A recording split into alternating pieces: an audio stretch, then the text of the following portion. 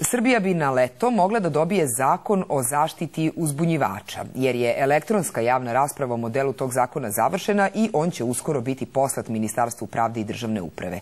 Za eventualnu odmazdu prema uzbunjivačima predviđene su zatvorske kazne, jer praksa pokazuje da onaj ko ukaže na kriminal i korupciju uglavnom ne prolazi dobro. To je potvrdio i nedavni slučaj službenice Niškog zatvora Valentine Krstić.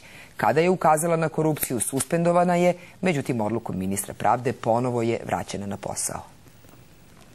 Na kriminal i korupciju iza ove glavne zatvorske kapije u Nišu nadležima je protekli godina pokušalo da ukaže desetak zaposlenih.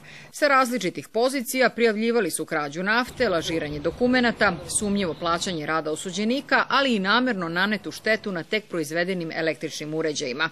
Neki su posle toga premešteni na druga radna mesta, a većina, poput Radeta Radovića, koji je od izdržavao petočlanu porodicu, dobila je otkaz. Kada bi se ponovo nešto tako loše protivzakonito desilo, opet bih isto postupio.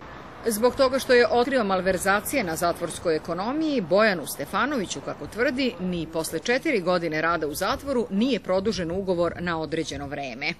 Najveća napravda je što je meni dat otkaz pod izgovorom da nema, nema pot, ne postoji više potreba za tim radnim mestom, a na moje radno mesto doveden drugi ovaj, čovek. To jako nije dobro zato što se šalje loša poruka građanima e, da, je, da treba da biraju između dve loše situacije. Da li će da ćute i trpe zato što su svedoci zloupotrebe ili će sebe da dovedu u tako tešku poziciju da u narodnem periodu od ne znam godinu koliko e, podnose e, sve pritiske Osim Valentine Krstić, niko od radnika Niškog zatvora nije dobio status uzbunjivača.